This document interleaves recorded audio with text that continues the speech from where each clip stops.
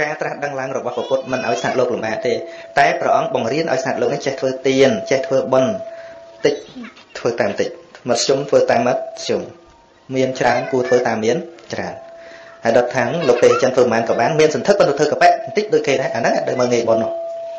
អ្នកខ្លះយល់ច្រឡំចឹងថាប្រហែលក៏បានដល់អ្នកក្រគ្នាធ្វើបាយមួយចានម្លំចានឯងមានសរុប10000ដុល្លារទៅធ្វើប៉ុណ្្នឹងដែរអានោះដូចអ្នកធ្វើស្រូវមានមានដី100ហត្តាដល់ឃើញគ្នាធ្វើ1ហត្តាជប់ធ្វើ 99ទៀតមកធ្វើ1ហត្តាដែរអាហ្នឹងឡងចំជាងគេទៀតមកពីមើលងាយបុណ្យយល់ទេជប់យល់ទៅអីយល់អត់ហ្នឹងពីព្រោះបុណ្យពិតប្រកបវាចេញមកពីចិត្តខ្នះខ្នែងចិត្តយកចិត្តទុកដាក់យកចិត្តទុកដាក់នៅក្នុងកិច្ចការងារហ្នឹងដូចជាសកទេវរាជមកដាស់តឿនអឺមច្ឆរិយកោសយសទ្ធិចឹងដាស់តឿនថាបុគ្គលដែលមានតិចគួរតែធ្វើតាមតិច បុគ្គលដែលមានច្រើនមធ្យមគួរតែធ្វើតាមមធ្យមបុគ្គលដែលមានច្រើនគួរតែធ្វើតាមច្រើនដែលថាមានហើយមិនធ្វើមិនសមគួរឡើយនឹងលោកលោកពោលថាអញ្ចឹងអញ្ចឹងបាននៅក្នុងការធ្វើបុណ្យនឹងការចេញប្រាក់ចេញអីក៏វាអត់ស្មើគ្នាទេអ្នកខ្លះមានជីវភាពក្រាន់បើទៅអ្នកខ្លះក៏មានជីវភាពមិនសូវក្រាន់បើទៅយើងមិនចាំបាច់ចំណែនគ្នានៅក្នុងកិច្ចការងារនឹងទេជួនកាលគ្នាមានតែកម្លាំងទ្រព្យសម្បត្តិមិនសូវមានណាហើយបើយើងមានច្រើនក៏យើងជួយខ្នះខ្នែងគ្នាឲ្យបានច្រើនតិចចឹងទៅ មិនក៏មិនទៅហើយព្រឹកនេះគឺថ្ងៃ200ត្រូវនៅថ្ងៃអាទិត្យទី8ខែឆ្នាំដដែលម៉ោង6ព្រឹកគួរគេនគូប្រសង់រាប់បាតសុគល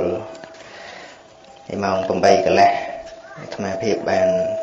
ឱកាសសម្ដែងពធទេសនាតាមពេលវេលាសង្គម កម្មវិធីបុណ្យនេះប្រពធ្វើនៅគេហដ្ឋាន បាសកសានសេនស្ថិតនៅភូមិទំនប់សង្កាត់រកាក្រៅក្រុងដូនកៅខេត្តតាកែវនឹងលើនេះនឹងកូនប្រុសស្រីរបស់លោកពូសានសេនអ្នកមីងអៀងម៉ៅបាទបានស្រស់ស្រួលមូលមតិគ្នាធ្វើបុណ្យពីរចំណែកបុណ្យបច្ច័យ4ហើយនិងតេកតាសង្កតាតេខណាទាន ហើយងាកមិញមានទេសនាហើយម្ដងទេហើយម្ដងទេសពីអីយកមិញអេត្រែងលោថ្មទេសទៅវាជន់គ្នាណាទេសរឿងអីនេះមិញណាទេសរឿងអីចែក4ខ្លះហើយធម៌ពីនេះមនុស្សខ្លះបងចែក4ខ្លះហើយធម៌ពីនេះមនុស្សខ្លះណា ចឹងសួរអ្នកស្ដាប់ធម៌យកមិញមកចាំអីខ្លះហើយបងទេសនាវិញនេះថាទុកឲ្យមិនហ៊ានទេច្រើនទុកឲ្យមិនហ៊ានទេច្រើនទេខ្លាចអស់ធម៌ហើយបច្ច័យ4បច្ច័យមានតែ4តែមានលើសពីហ្នឹងទេដឹងតែប៉ុណ្ណឹងអ្នកអញ្ចឹងចែក4លោកសួរសិនឥឡូវសួរថាទេសនាទេសដើម្បីអីមុនមុនលោកទេសនឹងទេសអីឥឡូវសួរថា យល់ខអាក្នុងពុទ្ធសាសនាណាទេសនឹងមុនមិនបានចាំបាច់មុនលោកទេសគាត់សូត្រមុននឹងបានណាហើយស្ដាប់តទេសនាបងបកស្រាយពីធម៌អាប្រទេសនឹងធម្មជាតិនឹងវិន័យទេពុទ្ធហ្នឹងឥឡូវធម្មជាតិឈ្នះអស់ជាទាំងពួងដឹងតែឈ្នះហើយបើវាឈ្នះតាណានោះអត់ដឹងកន្លែងឈ្នះអត់ដឹងកន្លែងឈ្នះអឺហ្នឹងហើយជួនកាលយើងយកទេសនាទៅឲ្យខ្មោចចឹងទៅបើអ្នកនៅរស់អត់យល់សោះហ្នឹងហើយ លើទេសនឹងឲ្យអ្នករស់ឲ្យអ្នកងាប់ហ្នឹងហើយទៅទេសទៅឲ្យខ្មោចចប់ហើយទេសទៅឲ្យខ្មោចទៅទៅបដាភ្នោខ្មោចទៅជិបអូជិបអូមួយខ្មោចទៅហ្មងទៅហ្នឹងអញ្ចឹងដែលចាំបាច់សំដែងធัวប្រយោជន៍គឺដើម្បីញាតិញោមស្ដាប់ហ្នឹងណាមែនអត់ហើយស្ដាប់នឹងស្ដាប់ដើម្បីអីមិនបានបុណ្យស្ដាប់ឲ្យចេះហ្នឹងណា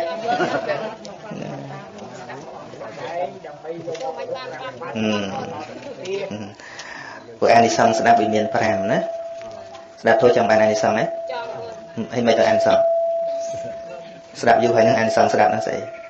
ទី1ចាំថាហើយអានិសង្សហ្នឹងជាមើលទៅទៅយើងបានឬអត់ពីព្រោះភាកច្រើនយើងថាធ្វើបន់ធ្វើកុសលស្ដាប់ធម៌អីចង់នោះងាប់ទៅកើតឋានសួគ៌នោះទេអញ្ចឹងឯងមិនស្ដាប់ទៅយើងអង្គុយអង្គុយហីហីណាហើយធ្វើខុសអីនៅខុសដែរ ហើយអត់ចេះអីនៅអត់ចេះដែរអានឹងជាមើលអានិសង្សនឹងបានអត់ព្រះអង្គសម្ដែងថាសុសោសੰងលពតេបញ្ញការស្ដាប់ដោយល្អរមែងបាននៅបញ្ញាមិនទៅស្ដាប់ឲ្យល្អហ្នឹងមិនស្ងៀមហត់ដល់លក់ឯណាទី1អានិសង្ឃលើប្រែពាក្យអានិសង្ឃឲ្យស្ដាប់អានិសង្ឃប្រែថាម៉េចអានិសង្ឃនេះអានិសង្ឃបុណ្យអានិសង្ឃប្រែថាម៉េចអានិសង្នឹងថាអញ្ចឹងក៏បានដែរឥឡូវធ្វើម៉េចឲ្យវាងាយចាំឲ្យយល់ថាអានិសង្ឃហ្នឹងកាលនឹកអានិសង្ឃយល់ហ្មងបើពយល់ពីអានិសង្ឃមិនថាអានិសង្ឃមិនថាអានិសង្ឃអានិសង្ឃការត្រង់ត្រាប់ចិត្តចាំទៅហឹមដូចមែនអានិសង្ឃអាត្មាប្រែតាមពាក្យសិនឲ្យចាំយល់ន័យណាអានិសង្ឃប្រែថាអ្វីដែលសម្រេចបានពីការខិតខំប្រឹងប្រែងនិយាយរួមអានិសង្ឃប្រើនឹងពាក្យថាស្មើនឹងពាក្យថាលទ្ធផល ហ្នឹងហ្នឹងហៅថាអានិសង្ឃប្រែតាមពាក្យថាវិបាកជាគ្រឿងហូរចេញជាប់មិនដាច់មានន័យថាវាចេះតែឲ្យមកយើងខំរៀននឹងគឺជាសកម្មភាពដែលយើងធ្វើដល់ពេលបានចេះដឹងអាចេះដឹងនឹងឯងជាអានិសង្ឃឃើញទេហើយយើងស្ដាប់ពីអានិសង្ឃបានចាំងាប់សិនទៅដូចចឹងយើងអត់ចេះទទួលអានិសង្ឃបច្ចុប្បន្នអញ្ចឹងអានិសង្ឃស្ដាប់ធัวមាន5ទី1ទី1 អសតាំងសនាតិគឺបានស្ដាប់នៅពាក្យពេចន៍ដែលយើងមិនធ្លាប់ឮពាក្យល្អល្អពាក្យដែលយើងគិតមិនដល់ដល់កាលណាយើងស្ដាប់ទៅគង់មានកន្លែងខ្លះយើងអត់ដែលដឹងសោះស្រាប់តែបានឮឃើញទេនឹងទី1ហ្នឹងចាំងាប់សិនឬក៏ឥឡូវហ្នឹងឥឡូវហ្នឹងនៅជីវិតនឹងឯងទី2សតាំងបរិយោតបេតិជួនកាលយើងស្ដាប់ម្ដងយើងអត់យល់អញ្ចឹងដល់ស្ដាប់ញឹកញឹកស្ដាប់ញយញយនឹងបានស្ដាប់សារជាថ្មីម្ដងទៀត ឃើញទេទី3កាន់ខាងវិហនតិដល់ស្ដាប់ញឹកញឹកញយញវាកើតការយល់កុំចាក់បំនៅការសង្ស័យពីមុនសង្ស័យចេះសង្ស័យចុះតែពាក្យបច្ច័យ4អត់ទាំងអាចដឹងថាតើបច្ច័យមានន័យថាម៉េចដល់ស្ដាប់យូរយូរទៅក៏លែងសង្លែងសង្ស័យទី4ទឹកថឹងឧជុងការោតេការយល់នឹងធ្លាប់តែយល់ខុសស្ដាប់យូរទៅក៏មានការយល់ត្រូវណាទី5ចិត្តមសៈបសិទ្ធតិ កាលណាយល់ត្រូវយល់ត្រង់ហើយចិត្តរមែងជ្រះថ្លាពាក្យតែជ្រះថ្លាហ្នឹងកុំភ័យជ្រះថ្លាគឺថាបានសប្បាយចិត្តជាមួយនឹងការយល់ដឹង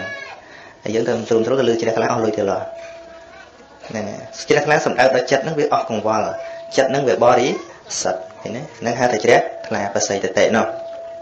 អញ្ចឹងអានិសង្ឃទាំង5នេះត្រូវទទួលយកបច្ចុប្បន្នជាតិហ្នឹងឬក៏ត្រូវស្លាប់សិនចាំទទួល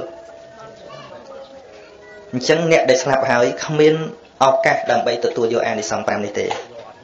ចឹងណាពីព្រោះអ្នកស្លាប់អស់តែជាស្ដាប់អញ្ចឹងអានិសង្សទី1ក៏អត់បាន ទី2ក៏អត់បាន ទី3ក៏អត់បានទី4ក៏អត់បានទី5ក៏អត់បាន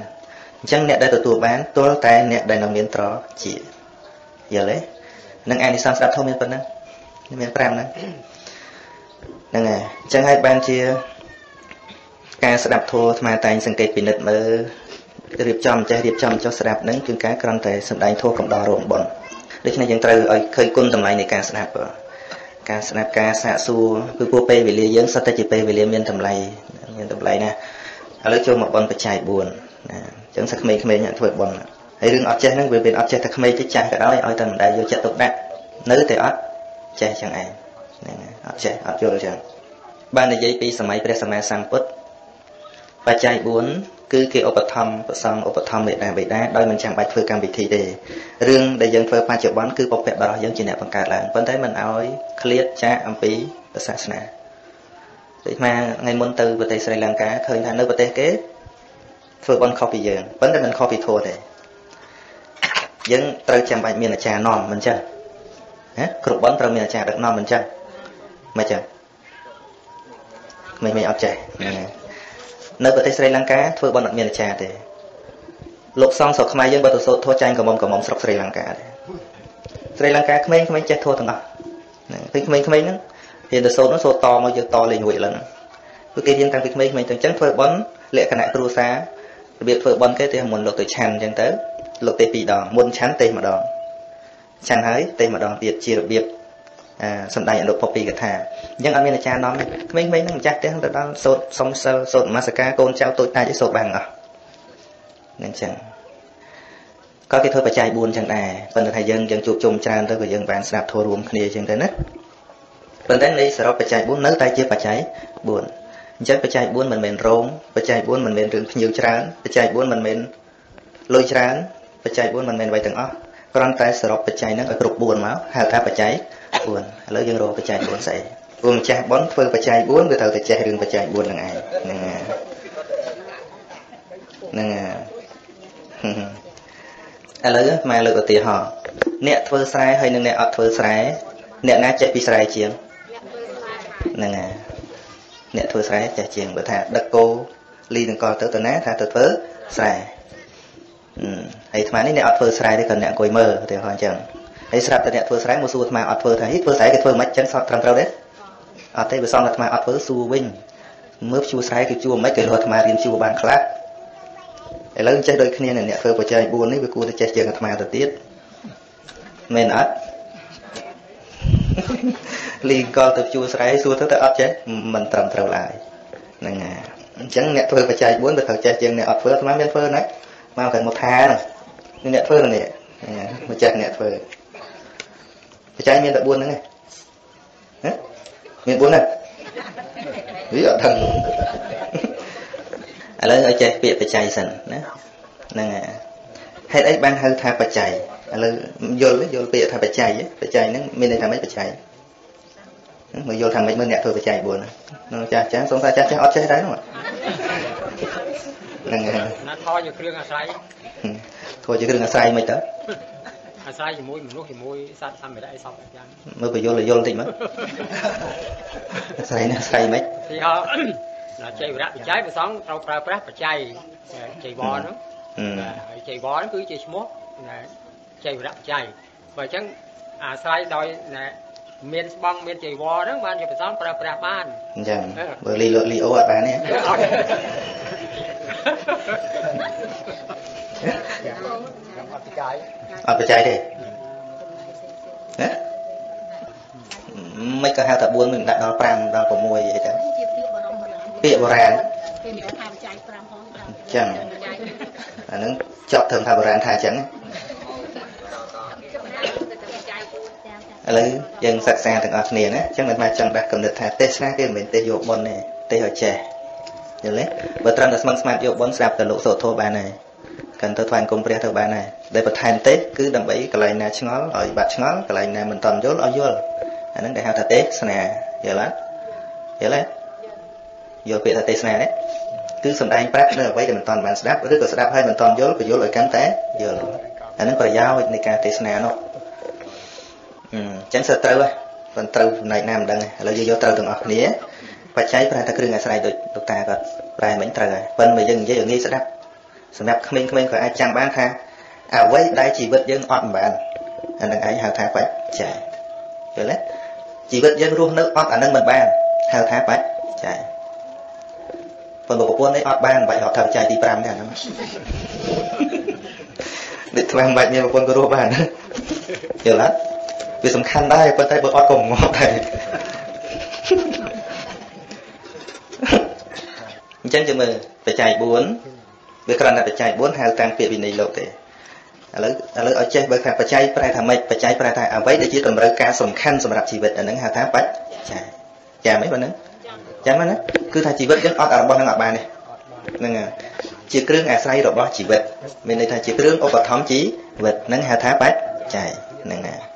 ចឹងហើយបានជាយើងដាក់នេះ ហេតុអីបានជាណាបច្ច័យ4សម្រាប់ឪពុកម្ដាយនៅរស់រីអតកណានុពទានសម្រាប់អ្នកដែលស្លាប់ពីព្រោះអ្នកស្លាប់អត់ត្រូវការប្រើប្រាស់របស់នឹងទៀតទេយល់ទេយល់ទេអ្នកស្លាប់នៅក្នុងភ្នោអីពងអត់បាយគាត់មួយឆ្នាំអីមានទាទេអត់ទេចឹងអ្នកនៅរស់ក៏អត់មួយខែមើលបានទេមួយថ្ងៃមិនបានផងណាហ្នឹងហើយអញ្ចឹងបច្ច័យមានន័យថាម៉េចបច្ច័យបច្ច័យមានន័យថាជាគ្រឿងអាស្រ័យរបស់ជីវិត ជាគ្រឿងជាតម្រូវការរបស់ជីវិតជីវិតនឹងអត់របស់នឹងអត់បានទេរបស់នឹងហៅថាបច្ច័យហ្នឹងហើយសរុបមកទាំងអស់ដែលយើងត្រូវការទាំងអស់សរុបនោះវាមានតែ4ហ្នឹងឯងដែលដែលសំខាន់បំផុតសម្រាប់ជីវិតយើងណាចេះហើយណាចេះនៅចេះពាក្យបច្ច័យនៅចេះពាក្យបច្ច័យនៅបើមិនចេះទេខ្ជិលទេទៅមុខទៀតហ្នឹងហើយបច្ច័យប្រែថាជីវិតរស់បានដោយស្រេចដោយអាស្រ័យរបស់នឹងជីវិតរស់បានអាស្រ័យរបស់ណា របស់នោះហៅថាបច្ច័យ ជីវិតរស់បានអាស្រ័យរបស់ណា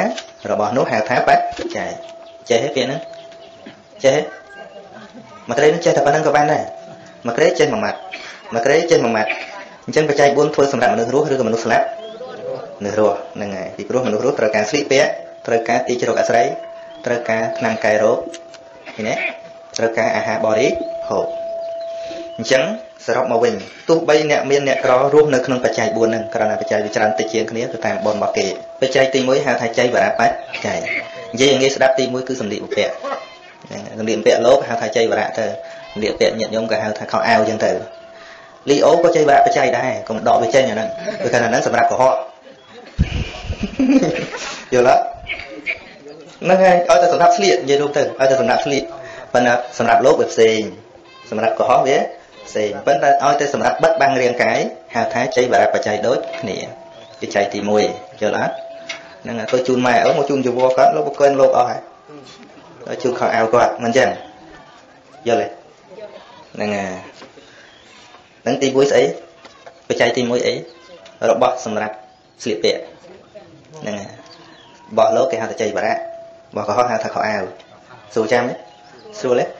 យើងអត់អីស្លៀកកើតទេ កើតទេអត់ទេឃើញគឺអ្វីដែលយើងអត់អត់បាននឹងទោះបីមិនជាអ្នកតែងខ្លួនក៏ត្រូវបិទវាឲ្យចិត្តដែរមែនទេខ្លួនមនុស្សយើងបើគិតពីធម្មជាតិវិញចាញ់សត្វមន់សត្វទាសត្វមន់សត្វទាវាមកមកកាផ្លេរបស់វាមកហ្នឹងទាវាមានរោមសម្រាប់ការពារក្រៅការពារត្រជាឆ្កែក៏មានរោមសម្រាប់ការពារដែរចុះយើងអត់ខោអាវទៅស៊ូមួយទាវាកើតមានអត់ហ្នឹងហើយ ឯគោមានកតុយសម្រាប់បិទរបស់វាចិត្តយើងអត់មានកតុយទេណានៅតែប្រសើរជាងសត្វហ្នឹងគឺត្រង់តែមានបញ្ញាទេប៉ុន្តែមនុស្សដែលប្រសើរជាងសត្វត្រង់ដែលមានការចេះរៀបចំសត្វវាមានប៉ុណ្ណាក៏ប៉ុណ្ណឹងទម្លាប់វាប៉ុណ្ណាក៏ទៅប៉ុណ្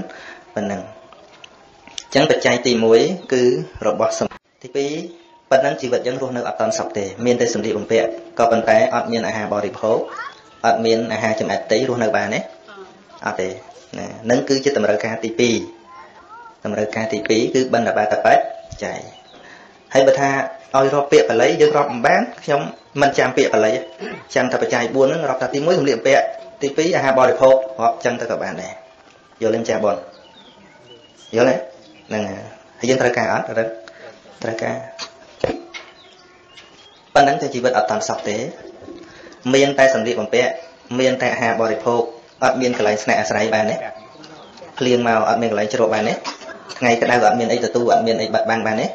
អត់ទេណាអញ្ចឹងត្រូវការទីបាត់បាំងទៀតកន្លែងជ្រកអាស្រ័យបើមិនមានកន្លែងជ្រកអាស្រ័យទេ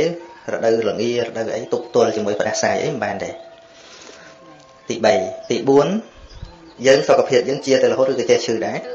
ឈឺអញ្ចឹងត្រូវការថ្នាំទេត្រូវទេគឺជារបស់ដែលអត់មិនបានទាំងក្រហោះទាំងបាបចិ ត្តអ្នកបួសក្នុងស្រុកអ្នកបួសក្នុងព្រៃគឺថាអ្នកណាក៏ត្រូវត្រូវការដែរហ្នឹងហើយគឺសម្លៀកបំពាក់អាហារផ្ទះសម្បែងថ្នាំកែរោគ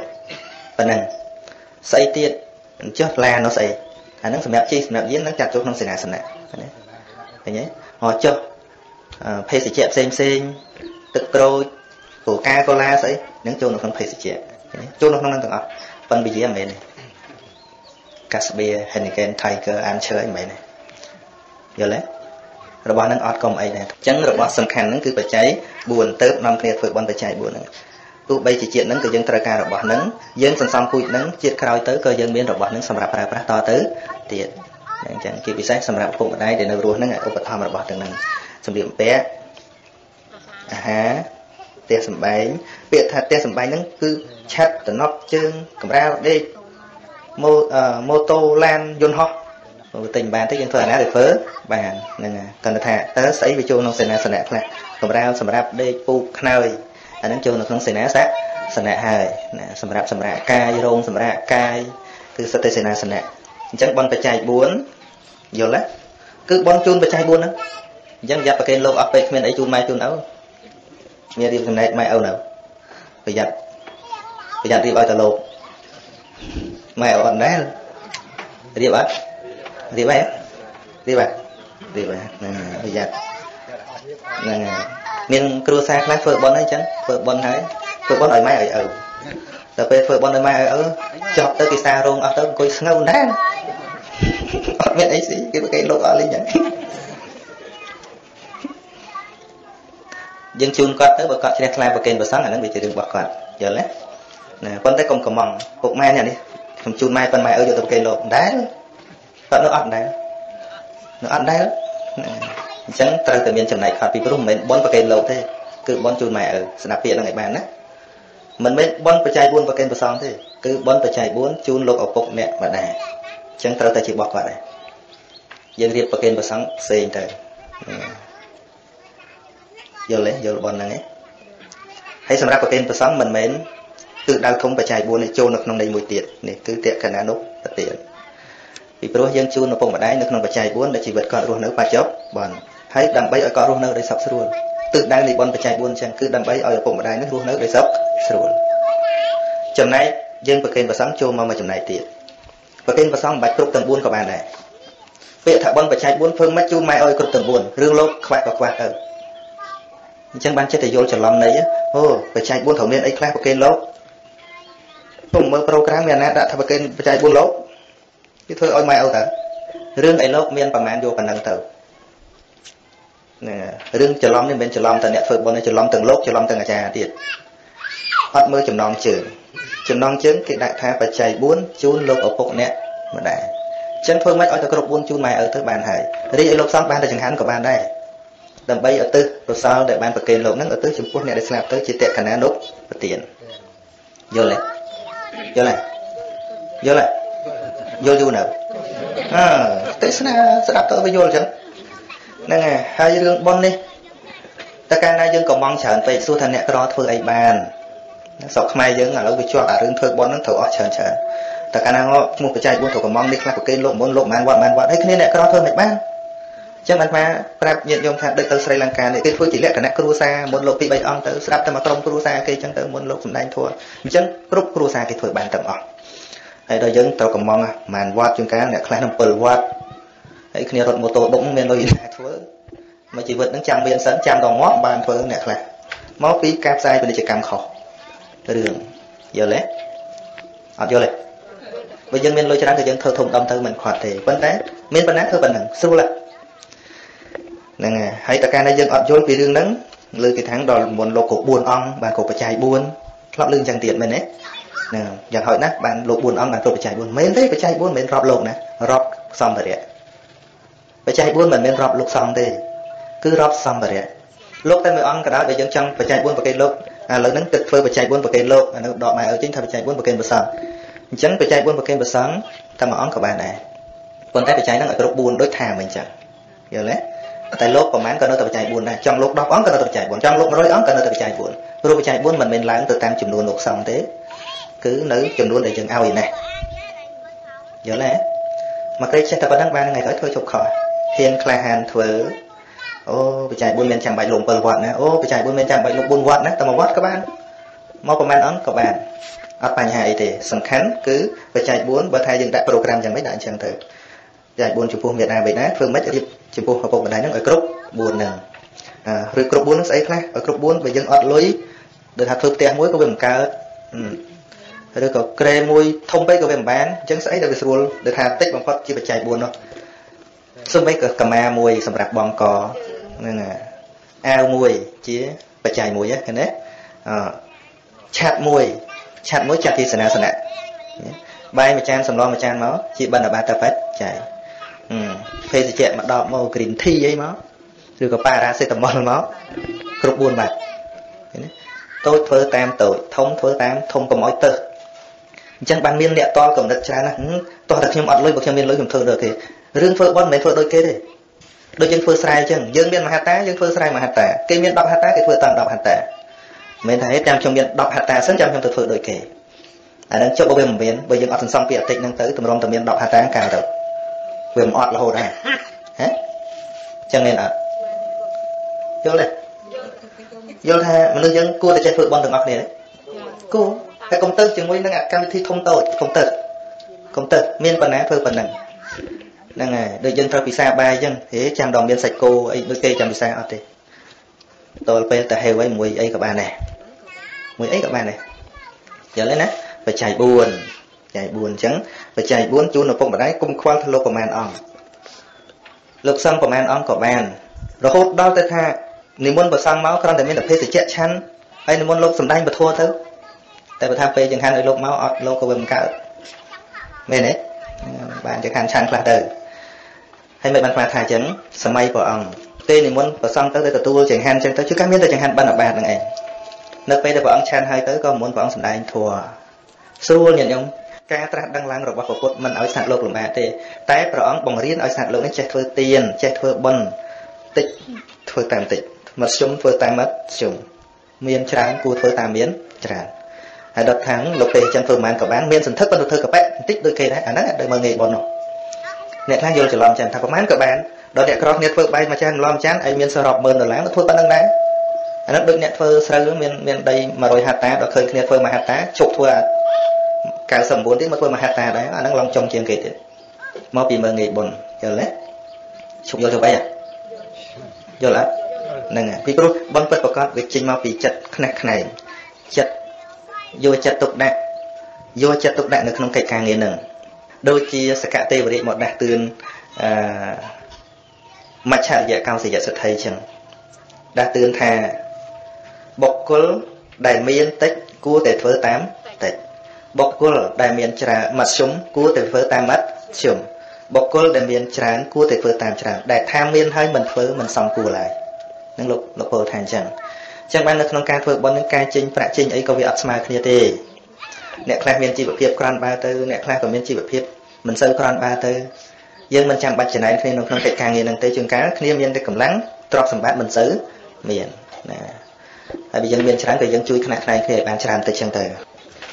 ឥឡូវបច្ច័យទី1ស្អីក្រោបខ្សែមិញមកបច្ច័យទី1សម្លៀកបំពាក់ទី2អាហារបរិភោគសិនទី2នឹងទី3នឹងផ្ទះសម្បែងទីប្រាក់ទី4នឹងអស់ចេះប៉ុណ្ណឹងចេះអញ្ចឹងធ្វើបន់ម្ដងចេះប៉ុណ្ណឹងបានទេមែនទេហ្នឹងហើយកុំឲ្យទៅវិញទៅស្រុកវិញខ្ញុំទៅធ្វើបច្ច័យ4ជូនពុកម៉ែខ្ញុំតែស្អីទៅបច្ច័យ4ដឹងអីលោកតាថាអញ្ចឹងថាអញ្ចឹងដែរខ្មាស់គឺងាប់អឺ ហើយដូចសួរមិញជើថាថាមិនមិនបានបច្ច័យនៅវាមានតែ4តាដូនថាអញ្ចឹងមិនមែនទេរឿងយើងត្រូវដឹងហេតុផលថាស្អីប៉ុណ្ណាទៀតវារត់ដាក់បច្ច័យអីមួយទៀតវាអត់កើតទេវាមានតែប៉ុណ្្នឹងចឹងមានរបស់ទឹកមកពីណាក៏វាមានតែប៉ុណ្្នឹងវាចូលមកតែប៉ុណ្្នឹងចឹងបានធោះរបស់ពុទ្ធមិនមែនថាដោយសារគេថាទេគឺឲ្យយើងយល់ដឹងថាវាពិតជាអញ្ចឹងមែនផងចឹងមិនមានពាក្យមួយចំណុចដែលព្រះអង្គទ្រង់ត្រាស់ថាសន្តិទ្ធិកោជាធัวគឺព្រះអរិយបុគ្គលទាំងឡាយដឹងពិតឃើញពិតដោយបច្ចវេកណញ្ញាណគឺថានឹងបានដឹងក្រំតែស្ដាប់គេមិនមែនទេ គាត់ស្ដាប់គេអាការយល់របស់យើងវាអត់វាអត់យល់ទៅតាមនឹងដែរក៏មិនមែនដែរហ្នឹងហើយរបៀបចេះធัวព្រះអង្គណាតែហៅតែពីមុនយើងអត់ចេះអត់ដឹងដូចជានៅក្នុងប្រអប់មួយដែលមានជាប់សោហើយយើងបើកអត់កើតហើយអ្នកដទៃចេះថាក្នុងហ្នឹងវាមានវាក្នុងហ្នឹងវាមានពស់ក្នុងហ្នឹងវាមានពេជ្រយើងអត់ដឹងទេក្នុងហ្នឹងប៉ុន្តែត្រូវមានអ្នកជួយអ្នកជួយហ្នឹងត្រូវរកកូនសៅឲ្យយើងឲ្យយើងចាក់សោក្រឹកទៅបើកខ្វាំងមកប៉ុណ្ណាមិនប៉ុណ្ណឹង ទោះបីនរណាថាមេថាពេជ្រដល់យើងបើកមើលឃើញដុំថ្មអញ្ចឹងដល់ពេលហ្នឹងគេបន្លំយើងថាជាពស់ឬក៏ឲ្យបាត់ទៅវិញក៏ដល់ចេះបើយើងបើកហើយឃើញដុំថ្មបាត់ទៅវិញអ្នកដទៃគេថាហ្នឹងពេជ្រហ្នឹងមាសហ្នឹងពស់ជឿទេទេជឿទេទេមិនបើអត់ជឿហ្នឹងហើយអញ្ចឹងហើយតែកាលណាបើយើងចេះពីគេគេមកសួរយើងតសួរតែក្នុងហ្នឹងមានអីចាស់ចាស់ថាមានពេកក្នុងហ្នឹងប៉ុន្តែខ្លួនយើងច្បាស់អត់ដូចមិនយើងចែក4មិនបានថា4ថាមកពីដូនតាថាអញ្ចឹងអញ្ចឹង ឥឡូវអត់មានដូនតាថាទេខ្ញុំថាណែខ្ញុំថាចេះអញ្ចឹងឯងនឹងប្រយោជន៍នៃការទេសនាទេអត់ចេះអញ្ចឹងគាត់ទេសសាធុចាំងាប់ទៅទទួលបនជាតិក្រោយហ្នឹងមិនបាច់ទេចាំទៅទេសឲ្យខ្មោចស្ដាប់តែហ្មងទៅមែនអត់ហើយចេះអត់ចេះហើយបើមកក្រេចេះតែប៉ុណ្្នឹងមុំតែ10ក្រេចេះប៉ុណ្ណាណាចេះច្រើនហ្នឹងហើយចេះហើយនឹងទេអីទៀតឥឡូវណាហើយលោកឆ្ងល់អីទៀតចាស់ប៉ុន ពូនក្នុងសាច់ហើយពូនធ្វើអីតែមកចេះប៉ុណ្ណាអីពីមុនធ្លាប់ចេះខ្លះនៅចាមិនគិតថាលើកលោកលោកបកដែរលោកបកថាមិនអីសុវណ្ណអរ័យអីហ្នឹងហ្នឹងអរ័យហ្នឹងគាត់រឿងក្រៅប៉ុន្តែយើងយកហេតុផលសូម្បីស្ដាប់ធម៌ក៏ដោយលើកថាកម្ពីថាក៏ដោយកុំចេះតែជឿណាពួកកម្ពីវាមានកម្ពីខ្លាំងខ្លាយដែរហ្នឹងកម្ពីខ្លះកើតពីមនុស្សសរសេរអាត្មាឧទាហរណ៍មួយចាស់យើងចិត្តចូលឆ្នាំចូលឆ្នាំយើងមិននិយាយអំពីកបិលមហាព្រំហែក្បាលអើកូនកបិលមហាព្រំហែក្បាលមហាព្រំកបិលមហាព្រំហ៎ហ្នឹងហើយឲ្យទៅដល់ខែហ្នឹងឆ្នាំហ្នឹងគេត្រូវវេហែបដូរវេនគ្នាហែក្បាលឪហ្នឹងប្រតិសិនទៅបង្កល់លើភ្នំកៃឡាស់ហើយជឿដែរជឿដែរជឿដែរ ជឿដែរជឿដែរមិនសូវមានន័យថាជឿខ្លះអត់ខ្លះហើយបើនិយាយពីយើងជួញឬក៏ធ្វើអីវិញអាជឿខ្លះអត់ខ្លះនឹងចំណេញដែរលទ្ធផលបានល្អដែរហើយអត់នឹងបងសួរគេហ្នឹងហើយហ្នឹងហើយអាត្មាក៏រំតែប្រាប់ញាតិញោមថា នៅពេលដែលយើងដាក់ចិត្តជឿអ្វីមួយ យើងបានបញ្ចប់ការចេះដឹងរបស់យើងហើយមានន័យថាយើងជប់ពង្រីកការចេះដឹងរបស់យើងឧទាហរណ៍អញ្ចឹងថាឧទាហរណ៍ថាអឺធ្វើអញ្ចឹងទៅបានសេចក្តីសុខយើងអត់មានមូលហេតុថាហេតុអីគ្រាន់តែធ្វើអញ្ចឹងបានសេចក្តីសុខបើអត់មានមូលហេតុអញ្ចឹងទេយើងជឿប៉ុណ្ណឹងមានន័យថាយើងចប់យើងអត់បានទទួលអីឥឡូវនិយាយពីទេវតាហើយក្បាលអញ្ចឹងបើយើងជឿចប់ការពិតយ៉ាងម៉េចអត់ដឹងឃើញអត់អហើយនិយាយពីក្បាលព្រំនឹងទៀតអាត្មានិយាយតិច មិនទៅយូរម៉េចហ៎វាមិនស្អុយសោះនេះហ្នឹងហើយក្បាលហ្នឹងថាបើសិនជាបោះទៅលើអាកាសរាំងភ្លៀង12ឆ្នាំបើបោះទៅលើផែនដីងាប់ដើមឈើអស់12ឆ្នាំបោះទៅក្នុងសមុទ្ររីងទឹកអស់ជឿដែរដល់លើទាំងថាជប់ជឿហើយជឿដែរមកគិតតិចមើលជឿដែរហើយមិនបានអត់ មែនទេរបស់ខ្លះមិនបាច់ឃើញក៏យើងវិនិច្ឆ័យបានដែរមិនមែនថាមកពីអត់ឃើញបើខ្ញុំអត់ជឿមិនមែនទេអាហ្នឹងក៏មិនជាលទ្ធផលណាអញ្ចឹងចុះប្រពុតយើងដែរឃើញដែរអត់ឃើញបានជឿមិនបានជឿជឿមកពីអំពើល្អរបស់ព្រះអង្គមិនបានដឹងព្រះអង្គធ្វើល្អឲ្យជាជនចេះដឹងសៀងត្រង់ចុះអ្នកខ្លះមិនបាច់ប្រពុតក៏គេណែនាំឲ្យល្អបានដែរស្អីគ្នាមួយសាសនាប្រពុតមួយអញ្ចឹងចាំនិយាយគ្នាទៀតថ្ងៃក្រោយអញ្ចឹងនៅក្នុងមូលហេតុមួយមួយអាត្មាឧទាហរណ៍ រឿងស្អីគេបង្កើតមកភាកច្រើនមានហេតុផលខ្លះក៏វាមិនមានហេតុផលដែរទីហោដូចមនុស្សស្លាប់ដាក់កាក់ក្នុងមាត់អញ្ចឹងហ្នឹងអ្នកបង្កើតគេមានទិសដៅរបស់គេប៉ុន្តែដល់តែយើងមិនមានការបកស្រាយថាដាក់ទៅឲ្យខ្មោចចាយតាមផ្លូវណាដែលមិនមានហេតុផលប៉ុន្តែអ្នកបង្កើតមិនល្ងងទេអ្នកបង្កើតដាក់ឲ្យមើលថាអ្នកងាប់ទៅសំបីកាក់មួយក៏យកទៅអត់បានដែរអញ្ចឹងអ្នករស់ត្រូវតែខំធ្វើសេចក្តីល្អនេះអ្នកបង្កើតគេមានកំណត់ចេះមានរឿងមួយទៀតរឿងធ្វើតគ្នាដោយមិនស៊ូពីហេតុផល កាលពីសម័យមិនតាន់មានម៉ាស៊ីនទឹកកកម៉ាស៊ីនផលិតទឹកកកចៅអធិការលោកជឺប្រស័យសាក់ជឺក្បាលនេះពេលលោកឆានឥឡូវទៅយកលោកយកមកក្រោកក្បាលលោកឲ្យវាត្រជាក់ព្រោះវាជឺក្បាលហ្នឹងហើយដល់អញ្ចឹងគ្រូសោតនេះឃើញចៅអធិការធ្វើអញ្ចឹងលោកមិនដែលសួរថាម៉េចបានក្រោកក្រោកក្បាលអញ្ចឹងដល់តែលោកសុគតទៅលោកឡើងចៅអធិការឲ្យទៅឆានឥឡូវហើយលោកក្រោកក្បាលអញ្ចឹងដែរ ហើយតើសួរទៅធ្វើម៉េចបើចាត់ការធ្វើមុនអញ្ចឹងខ្ញុំមិនណាធ្វើអញ្ចឹងដែរអ្នកធ្វើមុនគេមានហេតុផលរបស់គេមកវាឈឺក្បាលមកគេដាក់នោះណាហើយឯងអត់ឈឺក្បាលផងយកឡើងមកខោក្បាលដែរអាហ្នឹងដែលយើងធ្វើតគ្នាដោយមិនស៊ូពីហេតុផលហើយថាខ្លួនឯងគ្រាន់បើទៀតក៏រូបអពេញនៃវិខមួយអង្គទៀតលោកចាស់មុនទៅបានបាតលោកយកបានទៅប្រចាំងមួយថ្ងៃ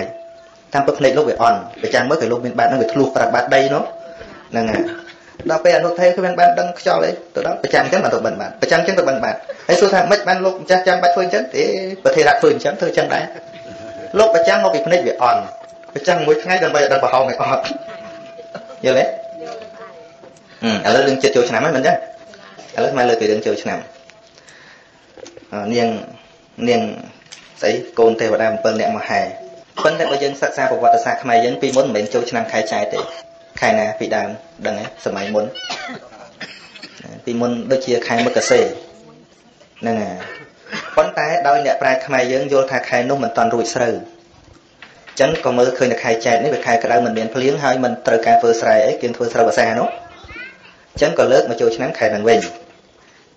អញ្ចឹងសួរថាទេវតានិងមនុស្សអ្នកណាដូរឡងនិយាយតាមណា យើងប្ររពថាមកពីទេវតានឹងខែក្បាលមកម្ដងបានយើងចូលឆ្នាំម្ដងចុះពីមុនទេវតាខែខែបើកសេដល់យើង thấy រវល់ខែហ្នឹងអញ្ចឹងទេវតាមិនត្រឡប់ទៅនឹងណាហើយយើងគិតតិចបើយើងគិតតិចណាព្រះសម្សម្មាសម្ពុទ្ធព្រះអង្គត្រាស់ដឹងគឺទុកអត្តភាពឲ្យមនុស្សគិតមិនឲ្យយើងជឿទេណាព្រះអង្គមិនឲ្យយើងជឿទេគឺឲ្យយើងគិតគិតឃើញចាំជឿបើគិតឃើញរៀនទៀតហ្នឹងហើយឧទាហរណ៍ទេវតាឆ្នាំខ្លះសោយអីសោយផ្លែល្វី សង្ស័យទេវតាក៏ព្រូនងាប់ហើយយើងសិក្សាពីទេវតាគេសោយអីទៅប្រកាសសោយអាហារទឹករបស់គេហើយយើងមកជឿអដេញសោយផ្លែល្វីតមួយទៀតប្រស្នា3ខនោះមិនរឿងចូលឆ្នាំហ្នឹងដែលធម្មបាលកុមារជាមួយនឹងហ្នឹងហើយពេលព្រឹកសរីឋិតនៅត្រង់ណាពេលថ្ងៃត្រង់សរីឋិតនៅត្រង់ណាពេលប្រលប់សរីឋិតនៅត្រង់ណាហើយថាពេលព្រឹកសរីឋិតនៅត្រង់ណាមកហើយពេលថ្ងៃត្រង់នៅត្រង់ទ្រូងពេលល្ងាចនៅត្រង់ ជើងជឿដែរជឿជឿជឿហ្នឹងឯងព្រោះថាលោកមុខឯងហើយងាកត្រូវលៀងជើងឯងជឿឯងជឿចប់ទៀត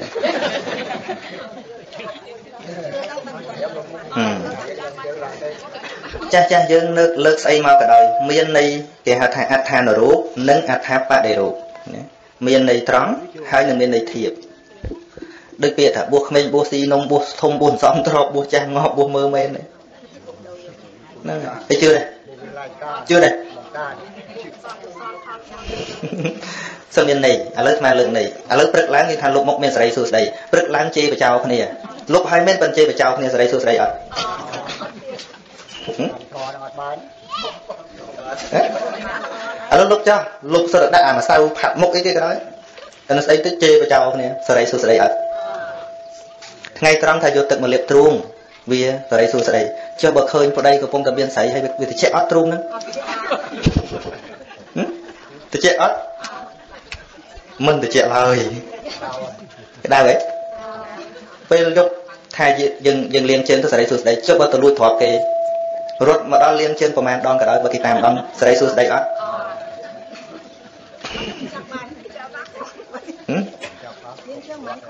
ហ្នឹងហើយ អញ្ចឹងនៅក្នុងន័យដែលបុរាណលោកលើកមកជាន័យធៀបមុខខៈមិនមុខទាំងមូលទេគឺមាត់ប្រែថាមាត់បាលីមុខមុខខៈមុខខៈហ្នឹងគឺមាត់មិនប្រែថាតួមុខទាំងអស់ទេយល់ទេនឹងភាសាបាលីមុខហ្នឹងប្រែថាមាត់អញ្ចឹងមកខ្មែរយើងថាមុខមាត់មុខមាត់ឃើញទេហ្នឹងហើយអញ្ចឹងដែលថាកាលណាលៀងមាត់ឲ្យជ្រះការស្រីសួស្ដីគឺលៀងពាក្យកុហកចេញលៀងពាក្យញុះញង់គេចេញ លៀងពាក្យសម្ដីអាក្រក់ជាបចោនឹងចេញលៀងពាក្យសម្ដីអត់បានការចេញនិយាយតែពាក្យល្អពាក្យមានប្រយោជន៍ឃើញទេកាលណាយើងនិយាយពាក្យល្អពាក្យពិតមានប្រយោជន៍មិនកុហកមិនញុះញង់មិនជេរបតិមិននិយាយពាក្យអត់ប្រយោជន៍តើសេរីសួស្ដីកើតតាមហ្នឹងទេតាមអាហ្នឹងទៅកើតពិតប្រាកដឃើញទេពេលថ្ងៃត្រង់មិនបានថាសេរីស្ថិតនៅត្រង់ទ្រូងមិនមែនណាលៀបទៅទ្រូងទេតែមួយទីមួយអាទាំងអស់ហ្នឹងមិនអញ្ចឹងប៉ុន្តែសំដៅដល់ហតិយៈហតិយៈបេះដូងគឺជា ការសម្ដៅដល់ហរតិទៅដល់ដួងចិត្តរបស់យើងអញ្ចឹងគឺត្រូវជំរះនៅមនោកម្ម3ដែលអាក្រក់អាក្រក់នោះការព្យាបាទគំនិតព្យាបាទណាគំនិតចង់បានទ្រព្យសម្បត្តិអ្នកដទៃនិងមិច្ឆាទិដ្ឋិគ្រប់យ៉ាងអញ្ចឹងជំរះឲ្យបានសមាទិដ្ឋិមិនមានការលោភលន់ចង់បានទ្រព្យសម្បត្តិអ្នកដទៃមិនមានអគិព្យាបាទអ្នកដទៃត្រូវតែខ្សែចិត្តមេត្តាមានអភ័យមានករណានៅក្នុងចិត្តទើបចិត្តនឹងត្រជាក់ទៅបាន តែបើមិនមានធัวមេត្តាករណានៅក្នុងខ្លួនកើតតែការចំណែនដល់ទីអ្នកដទៃមួយទឹក10ក្អមទៀតក៏មិនបាត់ស្ដៅដែរនៅក្នុងម៉ាស៊ីនត្រជាក់ក៏មិនត្រជាក់ដែរនៅក្នុងម៉ាស៊ីនត្រជាក់ក៏អត់ត្រជាក់ឡើយយល់អត់នឹងនៃលោកបរិញ្ញាអញ្ចឹងប៉ុន្តែអ្នកយករឿងហ្នឹងយកមកសំដែងអ្នកយករឿងហ្នឹងយកមកប្រសាសន៍តទៅទៀតអត់ព្រមបកស្រាយរឿងហ្នឹងទេឲ្យតែលុបមុខទៅឲ្យតែលៀងទ្រូងទៅ ឲ្យតែលៀងជើងទៅអាហ្នឹងវាជាកិច្ចវត្តធម្មតាដែលគេធ្វើនោះអ្នកណាមិនកាន់សុទ្ធសាសនាមិនមែនខ្មែរក៏គេធ្វើដែរមិនមែនដល់ចូលចាំឆ្នាំខ្មែរបានមកលុបមុខចូលឆ្នាំខ្មែរបានលៀងទ្រូងលុបលៀងខ្លួនអ្នកខ្មែរបានលៀងជើងមិនមែនទេជាសាសនាគេធ្វើអញ្ចឹងដែរជាធម្មតាជាកិច្ចវត្តធម្មធម្មតាជំរះជើងគឺកុំឲ្យដើរផ្ដេសផ្ដាស់ពេលយប់ចន់ដានចោលជាដើមឃើញអត់យល់អត់មិនឲ្យសម្លាក់មិនឲ្យលួចមិនឲ្យដើរលួចប្រពន្ធកូនគេវាកើតរឿងកើត រាវយល់អត់យល់អញ្ចឹងអ្នកប្រាជ្ញបុរាណយើងល្ងងអីចេះអ្នកគេបកកើតគេមិនល្ងងទេប៉ុន្តែយើងតើដល់តែយើងវិភាគមិនបានយើងអត់ដល់ជំរឿបេះដូងដែលអ្នកបកកើតមកយើងថាអត់មានហេតុផលជុកជឿជុកអីទាំងអស់ជុកជឿក៏អត់ត្រូវដែរពីព្រោះរឿងវាគ្រាន់តែធៀបតែការពិតគេបដៅអំពីអំពើកម្មរបស់យើងហ៎រឿងក្បាលព្រំធ្លាក់ទៅក្នុងសមុទ្ររីងទឹកទៅលើគោកងាប់ស្មៅងាប់អីអស់ទៅលើអាកាសរៀងភ្លៀងហ្នឹងហើយព្រំគេធ្វើក្បាលមែនមុខមែន 4មេត្តាករុណាមុទិតាឧបេក្ខាគឺជាការសម្ដែងថាពិភពលោកនេះអត់បាយមួយថ្ងៃបានក៏ប៉ុន្តែបើអត់ក្បាលព្រំនឹងមិនបានបើក្បាលព្រំធ្លាក់ដល់ដីពេលណាពិភពលោកត្រូវតែឆេះមែនឧទាហរណ៍ដូចសពថ្ងៃអាវុធធំធំណាបើនរណាមួយមិនមានមេត្តាធម៌នៅក្នុងខ្លួនចំពិសោធន៍អាវុធលេងតែមកក្តឹងងាប់អត់អញ្ចឹងមនុស្សគ្រប់គ្នាត្រូវតែហែក្បាលព្រំជានិច្ចមិនមែនទេវតាអ្នកហែទេគឺយើងទាំងឡាយជាអ្នកហែមានមេត្តាករុណាមុទិតាឧបេក្ខានៅក្នុងខ្លួន មេត្តាបិតាជាព្រំរបស់កូនប្រសិនបើមេត្តាបិតាមិនមានព្រំនៅក្នុងដៃគ្រាន់តែកូនចាប់ទេទម្លាក់ចោលបាត់កូនបាននៅមកដល់មានមុខមកទេយល់យល់ទេហ្នឹងហើយអញ្ចឹងថាអត់ជឿសោះក៏មិនបានតែជឿទៅប៉ុន្តែជឿមិនមែនក្នុងន័យត្រង់ទេគឺជឿនៅក្នុងន័យធៀបយល់ទេហ្នឹងហើយចូលឆ្នាំកុំភ្លេចហែក្បាលព្រមខ្លួនឯងកុំចហមាត់មើលទៅទូទូគេហែក្បាល ព្រមនោះកុំភ្លេចខ្លួនឯងជាអ្នកហែក្បាលព្រមទាំងអស់គ្នាបាទនឹង1ម៉ោងល្មមប៉ុណ្ណឹងការរៀបរាប់មកសំគួរដល់នៅពេលវេលាតែប៉ុណ្ណេះឯងអេវ៉ាំង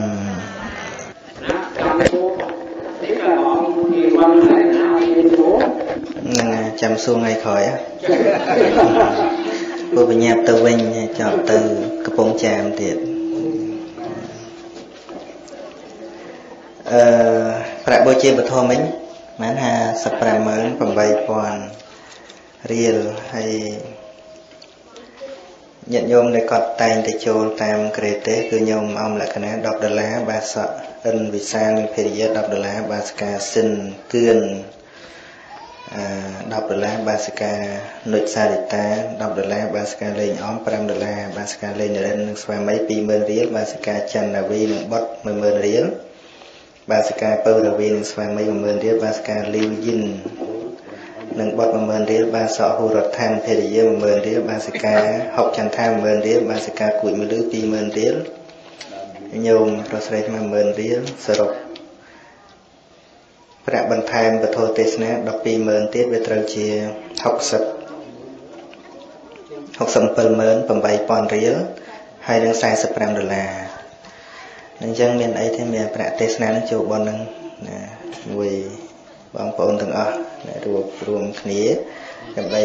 ចាត់ចែងនៅក្នុងកម្មវិធីបុណ្យហ្នឹងណាចូលបុណ្យហ្នឹងទាំងអស់ហ្នឹងទៅសូមអនុមោទនា